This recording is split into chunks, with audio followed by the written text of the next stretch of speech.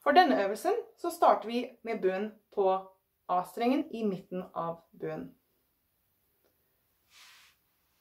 Ser du at albuen min er opp, og ikke inn til kroppen? Er opp. Nå åpner vi armen helt, kyllingvingen, så kommer vi opp til G-strengen. Da lukker vi igjen, og så er vi på E-strengen. Åpne igjen til G. Lukk igjen til E. Åpne igjen til G. Lukk igjen til E. Åpne til G. Nå spiller vi to korter på G. Tre, fire. Nå lukker vi igjen til E-strengen. To korter her. Tre, fire. Nå åpner vi til D-strengen. Tre, fire. Og til A-strengen. Tre, fire.